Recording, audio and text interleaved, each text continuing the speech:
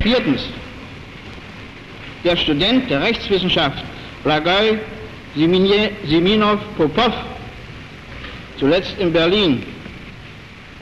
Fünftens, der Schuhmacher Wassil Konstantinov Tanev, zuletzt in Berlin.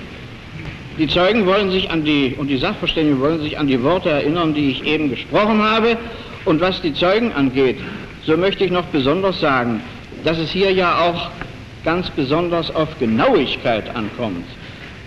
Also, dass nichts gesagt werden darf, selbstverständlich, was der Überzeugung des Zeugen vollständig entspricht und dass die Zeugen, nachdem die Sache auch einige Zeit zurückliegt, sich genau prüfen,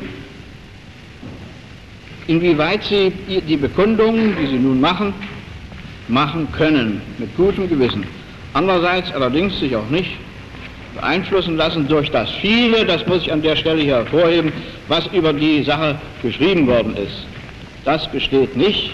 Und jeder Zeuge muss sich selbst fragen, was weißt du von der Sache und wie hast du dich darüber dem Gericht gegenüber, das in dieser Sache zu entscheiden hat, zu äußern.